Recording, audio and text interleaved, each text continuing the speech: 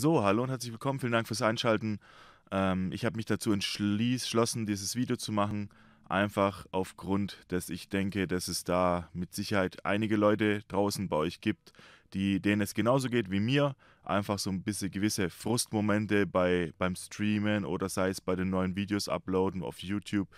Ähm, generell ist es jetzt erstmal gezielt für Twitch, aber kann mit Sicherheit auch auf YouTube widerspiegelt werden. Und das geht im Grunde genommen darum, eine kleine Community aufzubauen. Ich sage gleich erstmal eine kleine. Das kann mit Sicherheit irgendwann mal wachsen. Aber wichtig wäre es für mich erstmal äh, ein gewisses soliden Kern zu finden, die da wirklich mit dabei sind, aktiv sind und wie das Ganze dann auch aufgezogen wird, eben das Ganze zusammen mit mir aufzubauen. Und zwar, ja, geht es eben um eine kleine Twitch-Community erstmal in erster Linie. Die Idee darauf hat mich gebracht, ich meine, ihr kennt es mit Sicherheit alle, ähm, du schaltest den Stream ein, streamst los. Qualität würde ich behaupten, passt soweit. Spiele sind vielleicht auch okay. Du unterhältst, die, unterhältst einfach auch ein bisschen, sitzt jetzt nicht nur da und sagst, okay, passt. Und fragst dich, warum kommen keine Zuschauer? Warum findet mich keiner? Ist einfach eine frustig, frustige Geschichte. Also ich streame jetzt auch schon seit einer Weile. Ähm, ich habe auch früher aktiver gestreamt, also wirklich vor ein paar Jahren. Da war es dann, hatte ich auch teilweise wirklich viele Zuschauer. Und wie es aber jetzt dazu gekommen ist, dass ich jetzt im Prinzip einen neuen Kanal gemacht habe und wirklich von unten wieder anfange und versuche, das Original gut aufzu, aufzuarbeiten, eben wirklich aktiv zu werden, eine Community aufzubauen, wie es jeder eben für sich wünscht, würde ich mal behaupten, der eben streamt, ähm, möchte ich jetzt einfach quasi so, eine, so, ein, so, eine, so ein Grundgedanken war von mir da, dass man jetzt sagt, okay, man holt sich mal oder man tut sich mal zusammen, 15 bis 20 Leute für den Anfang. Erstmal wirklich, um das klein aufzubauen. Nicht jetzt zu sagen, okay, äh, wie es halt auch in den meisten Gruppen ist, so ja, viele Mitglieder, niemand interessiert, was der andere macht. Jeder will am besten die Klicks und die Followers abgeiern, aber im Endeffekt auch niemand wirklich bereit, was dafür zu tun. Deswegen sage ich gezielt, ähm, ich will jetzt nicht die Massen da drin haben und die Massen aufbauen, sondern erstmal 10, 15 bis, sage ich mal, für den Anfang maximal 20 Personen zusammenfinden, die da wirklich Interesse haben, was zu machen, die auch eben Stream oder einen YouTube-Kanal haben, die einfach vorankommen wollen auch und nicht eben auf diesen, ähm, ich poste meinen Link irgendwo und hoffe, dass die Leute kommen und mich feiern, sondern wirklich auch was dafür tun, die uns gegenseitig supporten, eben auch wenn es um Tipps geht zum Streamen, Equipment, wie auch immer.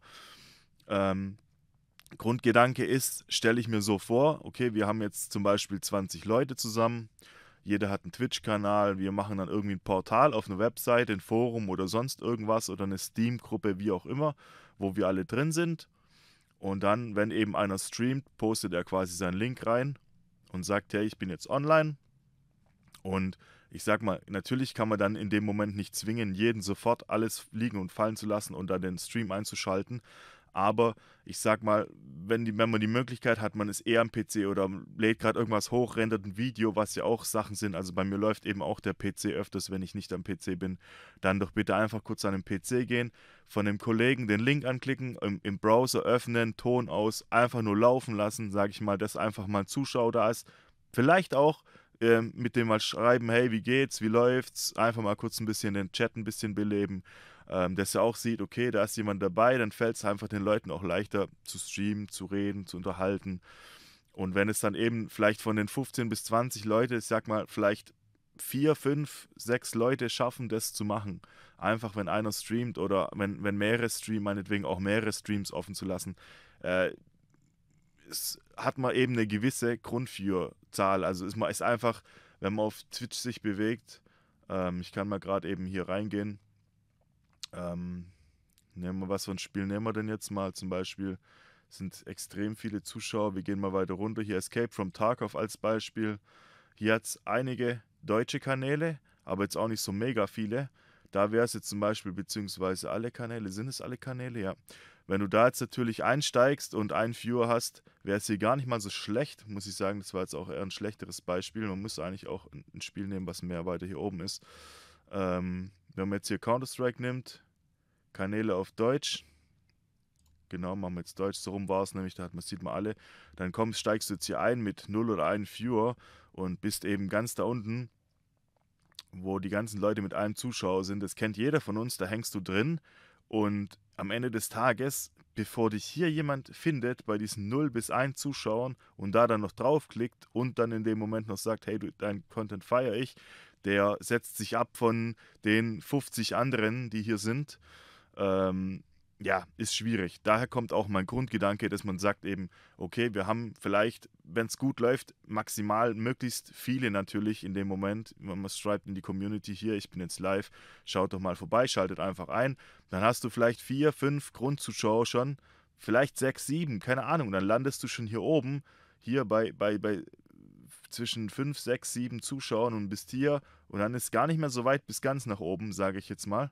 Also man muss gar nicht mehr so weit runter scrollen, um dich zu finden und zu sagen, okay, hey, es schauen immerhin schon sieben Leute zu, dann muss doch gerade der Content gar nicht so schlecht sein und dann schalten wir mal ein. Aber jeder kennt es so. Wie oft schaut man wirklich bei Twitch rein und guckt dann bei jemand rein, der ein oder null Zuschauer hat? Ich meine, ich persönlich mache es öfters mal. Gehe gezielt da rein, schaue mir dann den Content an, guck, äh, wie der ist, schreib mit dem, einfach um rauszufinden, hey, was machst du, wie sieht's aus, wie reagiert er, auch um mich selber zu verbessern, eben zu sagen, äh, okay, ja, wie, wie ist er drauf? Keine Ahnung. Einfach so, mache ich öfters mal. Aber am Ende des Tages äh, wisst ihr, wie es läuft. Und ich denke, das ist ein Thema, was die meisten von euch auch betrifft. Und das ist eben ein Part von der Community, wo ich mir sage, okay, das könnte man mal starten. Da könnte man was aufbauen, uns gegenseitig supporten. Ist natürlich mir auch klar, das ist jetzt ähm, nicht das Gelbe vom Eis und es ist auch nicht wirklich der eine kann dann sagen, okay, ich möchte meine Zuschauer wirklich von null auf, von, von null auf wirklich generieren und meine Community aufbauen. Kann ich verstehen, bin ich, bin ich dafür, wenn ihr das so machen wollt, macht ihr das. Aber ich sage, man könnte uns selber in der Gruppe einfach ein bisschen boosten, sodass man eben zumindest mal bei 7, 8, später vielleicht auch 10, 14 Zuschauer als Startboost hat. Und dann kommen die Leute schon auch dazu und sagen, okay, hey, da gucke ich mal rein, das sind ein paar Leute, wie auch immer. Und wäre natürlich cool, wenn man dann auch ein bisschen mitschreibt und mal einfach so den Support auch gibt an die anderen Leute, weil man erwartet es ja dann vielleicht auch von den anderen, wenn man dann selber streamt und sagt, okay, heute stream ich, poste rein und dann sieht man, okay, aus der Community kommen wirklich vier, fünf Leute und die schreiben dann in den Chat rein, unterhalten sich mit mir. Dadurch wird man selber ja auch attraktiver für Zuschauer, wenn dann im Chat schon eine Aktivität ist und auch eben ich als Streamer mit den Leuten agiere und rede, das ist einfach das, was das Ganze ausmacht. Und das macht ja auch dem Streamer mehr Bock, dem Zuschauer macht es mehr Bock. Es ist einfach, denke ich, eine solide Sache und ich denke, da kann man was Gutes aufbauen. Und deswegen will ich auch nicht jetzt auf Teufel komm raus sagen, oh, wir brauchen 50 Leute, ich will nachher hier 20, 30 Viewer haben als Startbasis. Das wird, glaube ich, nicht funktionieren. Das kann vielleicht irgendwann mal funktionieren, wenn die, wenn die Community wirklich ausgebaut wird, aber das, das soll auch langsam und natürlich funktionieren und man kann dann mit Sicherheit, wenn man die Grundbasis hat von 10, 15 bis 20 Leuten, die wirklich engagiert sind, sich gegenseitig helfen, ist es mehr wert, als wie wenn man eben eine Gruppe hat mit 2000 Leuten, wo dann keiner wieder für den anderen irgendwie ein Interesse hat oder man kennt sich nicht oder es ist einfach so wieder dieses Anonyme. Deswegen will ich das wirklich aufbauen und erstmal mit 10, 15 bis 20 Leuten und dann mal gucken auch, wie das funktioniert. Der eine wird mit Sicherheit sagen, okay, du, für mich ist es nichts, funktioniert nicht. Oder der andere sagt, oh, scheiß drauf, ihr macht eh jeder, was er will, ich bin auch weg. Weiß nicht. Aber ich denke, so kann sich das wirklich ein bisschen rausfiltern und dann hat man Leute, die wirklich Bock drauf haben, hier auch auf Twitch voranzukommen und gegebenenfalls natürlich auf YouTube. Da kann man dann genauso sagen, ich hau hier mein neues YouTube-Video in die Steam-Gruppe, guckt doch mal bitte rein, schaut es euch mal an, gebt mir vielleicht Feedback, was ich besser machen kann, gebt einen Daumen hoch natürlich. Man kann sich gegenseitig abonnieren und followen und so einfach ein bisschen ein Netzwerk aufbauen, sich, sich untereinander helfen, kommunizieren. Auch nicht, dass es alles so anonym abläuft und ja, das ist so mal meine Grundidee. Ihr könnt ja mal gerne in die Kommentare schreiben. Ich werde es in Facebook jetzt mal verteilen in den, in den, in den, in den Gruppen. Ähm, könnt ihr mal gerne in die Kommentare dort schreiben und auch natürlich unter das YouTube-Video. Beziehungsweise, ja, äh, wenn ihr Bock habt mitzumachen, natürlich, schreibt in Facebook unter dem Beitrag drunter.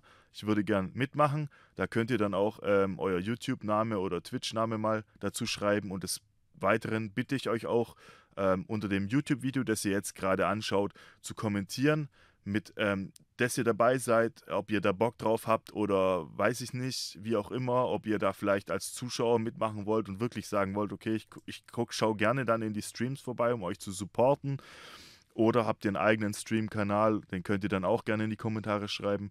Einfach so, schreibt ein bisschen was dazu, was ihr macht, was, was eure Beweggrund ist, ob ihr sagt, okay, nee, habe ich eigentlich nicht so Bock, ich, ich streame halt so vor mich hin, wie auch immer. Und ja, ich denke, das ist eine ganz coole Idee, könnte funktionieren. Hatte ich jetzt auf jeden Fall wie so, wie so ein Gedanken einfach, ob man das mal starten kann. Ich weiß jetzt nicht, ob jetzt ihr alle sagt, okay, das ist kompletter Schwachsinn, das funktioniert nicht, das brauchen wir gar nicht probieren.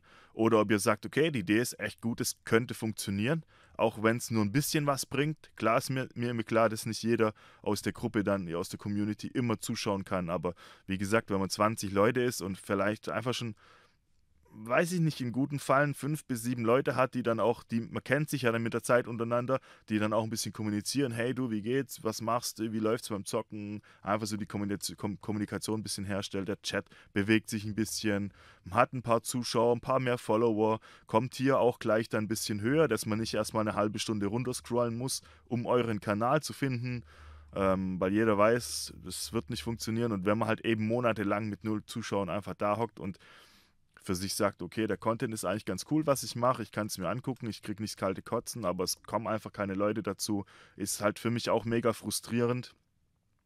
Und deswegen hab, war die Idee da, das einfach zu starten. Und ihr schreibt jetzt mal bitte in die Kommentare, haltet ihr das für eine gute Idee, schlechte Idee, pro, contra, seid ihr dabei, habt ihr Bock drauf, seid ihr motiviert? Und ja, ich weiß nicht, wie lange ich jetzt gerade schon wieder aufnehme, aber ich will es jetzt auf jeden Fall nicht mega lange ziehen. Ich glaube, es war jetzt schon länger als ich das eigentlich wollte, ein kurzes, knappes Video darüber machen. Wie das Ganze nachher abläuft, kann man natürlich besprechen im Discord und ähm, auch erstmal vielleicht über, über einen äh, Facebook-Gruppenchat oder wie auch immer. Ist ja alles kein Problem heutzutage. Gebt auf jeden Fall den Daumen, den Daumen hoch in dem Video, wenn ihr da Bock drauf habt, wenn ihr sagt, das ist eine gute Idee. Und ja, ich hoffe, es sind einige dabei, die da wirklich Bock drauf haben, sich gegenseitig zu supporten, wirklich zu supporten. Nicht dieses, ja, klar, mache ich immer und macht doch keiner. Das will ich nicht. Ich will wirklich Leute, die Bock drauf haben und eben da motiviert sind, was zu reißen und voranzukommen. Das ist das Ziel am Ende des Tages, mehrere Zuschauer zu, zu bekommen und Leute, die wirklich Bock haben, da mitzumachen. Würde ich feiern. Dann sage ich vielen Dank fürs Einschalten und bis zum nächsten Mal. Ciao.